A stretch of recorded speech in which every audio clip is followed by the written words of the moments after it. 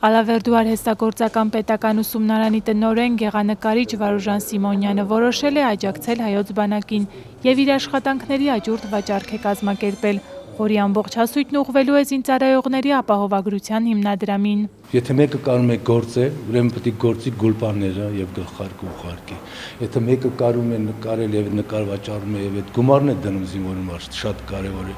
Այն մյուսը այլ հարցով, այլ ձևով է լուծում,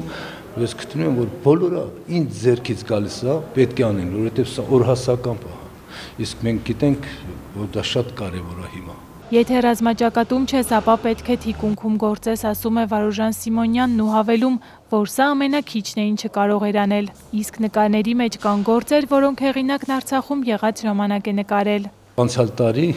ես ու ընկերս ամբողջ Արցախը սահմանով մենք գնացինք 5 օր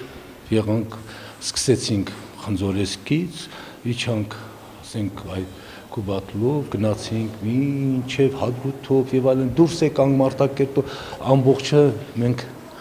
ման եկանք զուտ սահմաններով եւ այդ ժամանակ մի քանի նկար արեցինք որոնցից մեկը նաեւ Շուշիներ Սուրբ Ղազանչոցոց եկեղեցին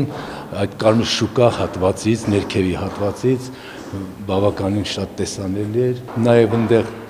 Սարսանդի ջրամբարը նկարեցինք Նկարների աճուրդ վաճառքն Ալավերդու համայնքապետարանում է կազմակերպվել։ Փոխհամայնքապետ Արթուր Վարոսյանի խոսքով սա լավ օրինակ է, որին կարող է հետևել յուրաքանչյուրը։ Վաճառքի գնից բավականին էժանա ներկայացված, որպիսի գնորդներն էլ չհագրգռված լինեն։ Աճուրդի մասնակից Ռուբեն Ծատինյանը 3 նկար է գնել, որոնք մտադիր է նվիրել։ Սակայն նվիրելուց առավել կարևոր է այն, որ ամբողջ գումարը բանակին է ուղղվելու։ Այսօր մեր բանակի համար ով ինչ լանի շատ քիչ է։ Թիկունքն էլ է ֆրոնտ Մենք էլ պարտավորենք